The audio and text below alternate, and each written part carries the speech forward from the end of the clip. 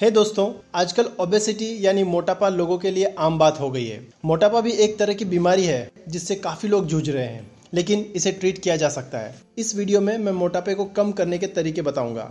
मोटापे को कम करने का पहला तरीका है ईट फ्रूट्स यानी फलों का सेवन करें, जैसे मौसमी, अनार, सेव, पपीता, गाजर एक्सेट्रा इनका सेवन करने से आपका डाइजेशन अच्छा होगा, जिससे आपका वज़न कम होगा। दूसरा तरीका है योगा। योगा एक बहुत पुराना तरीका है शरीर में हर बीमारी को ट्रीट करने के लिए। लेकिन हमें इसे रेगुलर करना होगा, जिससे हमारी बॉडी की चर्बी कम हो। तीसरा तरीका है mixture of honey lemon and cumin seeds यानी जीरा, शहद और नींबू पानी का मिक्सचर इसको रोज़ पीने से पेट की चर्बी कम होती है। इसको बनाना बहुत ही आसान है। जैसे सबसे पहले एक ग्लास पानी लें और एक चम्मच जीरा उसमें डालें और उसे एक बर्तन में गर्म करने के लिए रखें। उसे पाँच दस मिनट के लिए उबालने दें फिर ठंडा होने के बाद उसमें एक चम्मच शहद मिक्स करें और एक नींबू का रस भी मिक्स कर दें। इसे अच्छे से मिक्स कर लें। इस सॉल्यूशन को आपको सुबह सुबह खाली पेट पीना है। इस तरह इसको आपको लगातार एक महीने तक पीना है और ऐसा करने से आपके पेट की चर्बी ज़रूर कम हो जाएगी। चौथा तरीका है जैगरी एंड सीसम कंजम्पशन यानी गुड़ और तिल का सेवन करें या इन दोनों को मिक्स करके गजक बना के इसका सेवन करने से आपकी बॉडी में मेटाबॉलिज्म बढ़ता है, जिससे आपके पेट की चर्बी कम होती है। पांचवा तरीका है ईट स्लोली खाना धीरे धीरे खाएँ और जब भूख लगे तभी खाएँ। छठा तरीका है अवॉइड जंक फूड्स यानी जंक फूड्स ना खाएँ। ये आपके मोटापे को बढ़ाता है।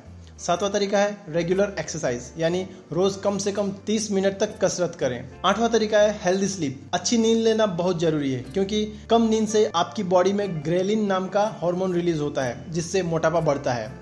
नौवा तरीका है ईट लो ग्लाइसेमिक फूड्स यानी जिस खाने का ग्लाइसेमिक इंडेक्स कम है, वो खाना खाएँ। आप सभी फ्रूट्स का ग्लाइसेमिक इंडेक्स ऑनलाइन चेक कर सकते हैं। जिस खाने का ग्लाइसेमिक इंडेक्स 55 से कम है, उसे लो ग्लाइसेमिक फ़ूड कहते हैं और उसे आप खा सकते हो। और जिसका ग्लाइसेमिक इंडेक्स 70 से ऊपर है, वो हाई ग्लाइसेमिक फ़ूड कहलाता है और उसे अवॉइड करें, क्योंकि उन्हें खाने से आपका मोटापा बढ़ सकता है। दसवा तरीका है अवॉइड प्रोसेस्ड फूड्स यानी cheese bread cakes chicken chips etcetera ये सब प्रोसेस प्रोसेस फ़ूड ना खाएँ। इनसे आपका कोलेस्ट्रॉल बढ़ता है और पेट की चर्बी भी बढ़ती है। इन्हें ना खाएँ। ग्यारहवा तरीका है लेमन जूस इंटेक यानी डेली नींबू पानी का सेवन करें, लेकिन इसमें नमक की मात्रा कम रखें।